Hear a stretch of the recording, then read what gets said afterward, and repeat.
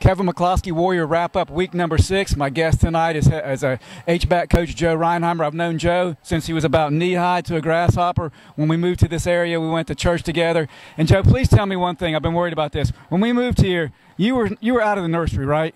Yeah. At church, we went to church. Get good, because I had these visions of me possibly changing your diaper, and I didn't want to have to go to therapy to today. Okay, so we went through there. All right, we're standing behind a blank scoreboard here. That scoreboard operator is probably the quickest person on the field because it went that score off pretty quickly. yeah, it went dark pretty quick, and the final score was 55 to 14. Joe, a lot of payback tonight. Oh, you know the payback is sweet. Anytime you can go, come out here and do the things we did, execute the way we wanted to, it's always special, you know. And it's really special tonight just because it's the first time we won on this field. You know, we beat them last year on our field. We beat them a few years prior when I wasn't here on our field, but it was the first time on their field, and it's extra special. Yeah, well, I've had some bad memories here, and if you uh, check my Monday morning quarterback article this week, I'm, I'm going to share a little bit of, of, that with you.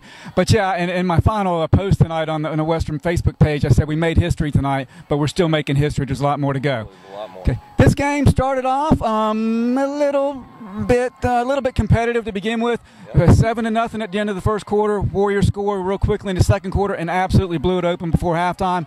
And I won't say Northern rolled over, but it was pretty much over with by halftime. Yeah, about that was pretty much a good summary of the game. I mean, they came out, they're going to compete. You know, they're a strong program. They're going to compete. So it was important for our guys to compete even harder from the get go. Yeah. And then it's just once we get the ball rolling downhill, hey, it's going to keep going and going, and we're going to get going. All right. Speaking of Northern, I was impressed with their play, their quarterback. He tricked me several times with his ball handling and, and, and the fakes and, you know, keep some runs. Threw some nice passes across the middle. They burned us with some slants and quick patterns. I thought they had a good game plan, but they, they failed to capitalize. Of course, three picks by Trayvon Williams helped. Uh, one of those assisted by Perry Greason. So we can't go wrong. On WA side, you know, we were firing pretty much at will. The only thing that hurt WA tonight was WA with penalties. I mean, what do you? I mean, there's not not a whole lot we can do. I thought the refs were.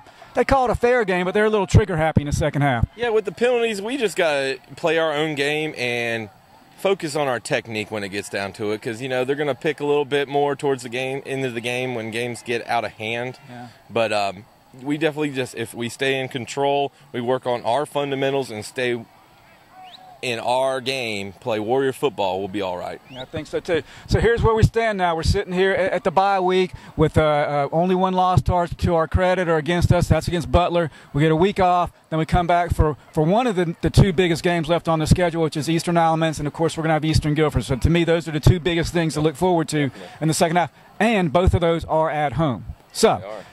No injuries tonight, from what I could tell. We're in good shape health wise. Don't want to jinx us, but everything's looking good. Joe, any final thoughts on the game? Hey, go Warriors. All right, absolutely. So go home, get some rest, and we'll see you in a couple of weeks. Everybody enjoy the week off.